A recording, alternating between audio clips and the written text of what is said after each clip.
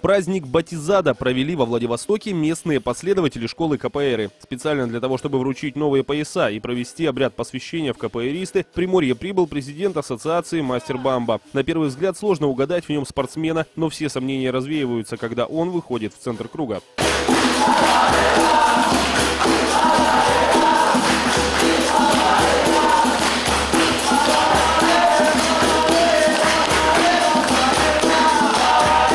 Истории и развитие этого боевого искусства в крае всего несколько лет, но непривычная акробатика, национальная бразильская музыка и зрелищные состязания уже привлекли под крышу школы множество учеников. Здесь можно встретить школьников и студентов, грузчиков и офисных работников.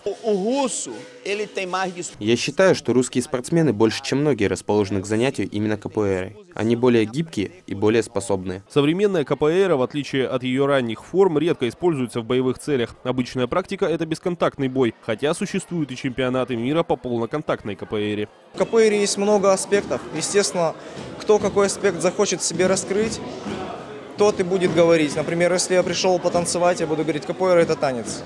Если кто-то пришел научиться бить ногами, драться или там общаться с человеком, он скажет, для меня это больше, чем танец. На тренировки ходят в основном дети и молодежь, поэтому большинство так называемых боев между ними проходит все же в форме парного танца с неспешным обозначением ударов. Зато когда в круг выходят опытные мастера, начинается зрелище, достойное любого ринга.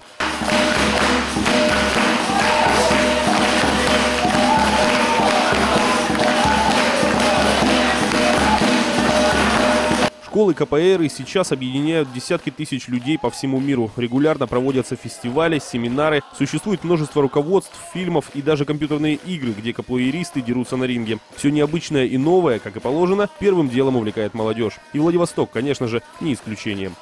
Константин Васильев, Александр Машталер, Вести регион.